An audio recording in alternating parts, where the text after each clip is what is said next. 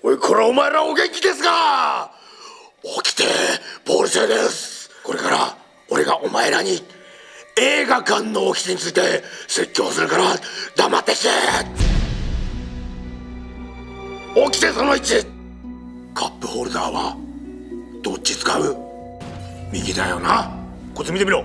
ほら右側に入れてるだろ。起きてその2上映中は映画館暗いからな。ゆっくり歩かないと。